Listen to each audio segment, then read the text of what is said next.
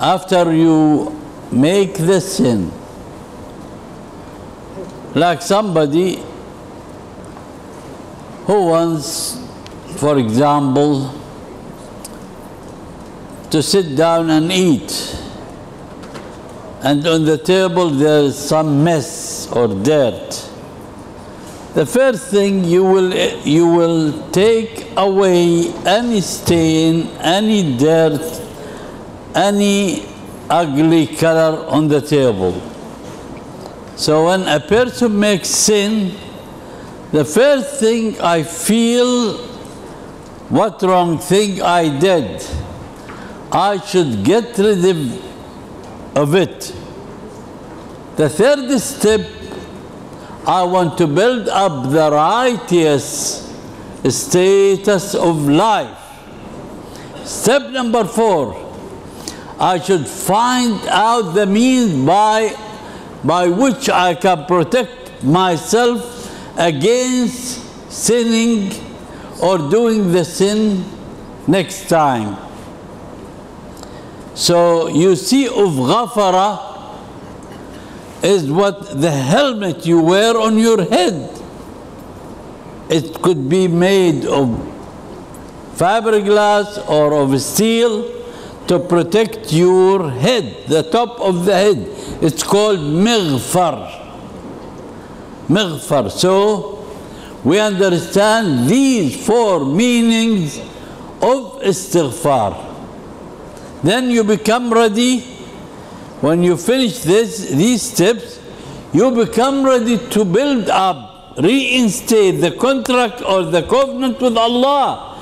Because when you were sinning, you broke your promise, your commitment, your covenant with Allah. Now you want to reinstate the covenant, that is the tawbah.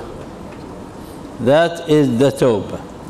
So you cannot make tawbah if you can if you didn't do the istighfar.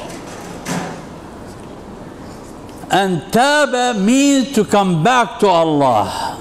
Tawbah means you are returning to Allah because you've been away because of the sin you've done. What is the difference between mu'min and Muslim? Muslim means the one who in appearance is practicing the commitment of deen. Salah, I see somebody make salah. I see somebody says, Ashhadu an la ilaha illallah. I see somebody who is fasting. I see somebody who gives zakah. I see somebody who is with me in Hajj. Such a person is Muslim, certainly. But of what is unknown, he could be a Muslim in appearance, but he is hiding kufr in unknown way. The munafiq means the one who is enemy of Allah, enemy of Islam, enemy of everything, of deen. In appearance, he is a Muslim. This is why the Prophet sallallahu alaihi wasallam never could judge a person. The Prophet wasallam, the only way he could tell the munafiqeen is because Allah told him. He would never know any one of the munafiqeen. Now, when Sa'd ibn Abi Waqqas came to the Prophet wasallam after Hunayn, when they finished with Hunayn and there were a lot of booties, ghanaim, a lot, thousands of camels, sheep, goats, etc. Lot of gold, lot of silver. So the Prophet ﷺ started distributing some of those booties. Sa'd ibn Waqqas, you know who, he, who Sa'd is? He is one of the ten who are given the good news to go to Jannah. And he is the leader who conquered Persia in, during the office of Umar ibn al-Khattab. So Sa'd ibn Abi Waqqas came to the Prophet sallallahu alaihi wasallam and said to him, why don't you give this man of the booties أعط فلانا فإني أراه مؤمنا Give this man, I see him a mu'min. The Prophet ﷺ says to him, أو مسلما or a Muslim, which means you cannot judge to say a person is mu'min, but you have the right to say he is Muslim. So then he repeated that three times. And the Prophet ﷺ doesn't accept anyone to call anyone as a mu'min. In Surah Al-Dhariyat, فأخرجنا من كان فيها من المؤمنين because Allah knows that those people are mu'minين no one else knows فما وجدنا فيها غير بيت من المسلمين it means the only families who are in appearance Muslims are those if I go any further it will take the whole time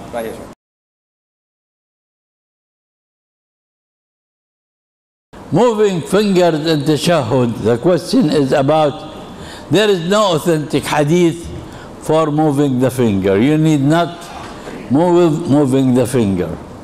There is no authentic narration for moving the finger. I know some people think that this is of the Salafi knowledgement or education. I say there is no authentic hadith in moving the finger, so you need not. But you, if you want to have certain exercise, it's up to you.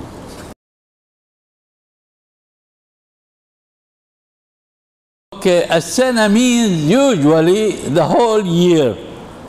But there is am and there is sana. Am, when it is a prosperous, they call it am. When it is not prosperous, they call it sana. Uh, Al-Hawl, it is the time of a whole year, but it is called Hawl because things change. Things change during the year. You see, for example, some vegetable which is green, then after some time it becomes yellow and so forth. Al-Hajj, Arabs used to date and early in history, because the Kaaba and Hajj was something early in history, we don't know how early it is, but people used to call the whole year as a Hajj. So when said to Musa, على أن تأجرني ثمانية حجج, it is known so early, it means that eight years.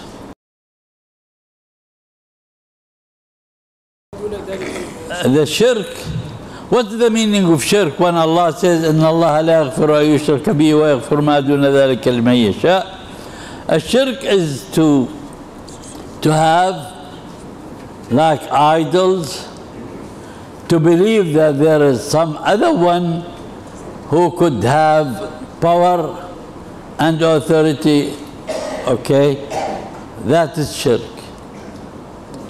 the true shirk like uh, Arabs used to be the mushrikeen because they have the idols. If you believe that there is anyone could give life or could give death or could give rizq, sustenance, that is shirk. If you fear other than Allah and you think that person could give you death or life, everything of that is shirk. You should not make an issue of an opinion. The only way you are upset with somebody if he violates an ayah or a hadith deliberately. But anyone's opinion could be right and wrong, it's in need of your tolerance.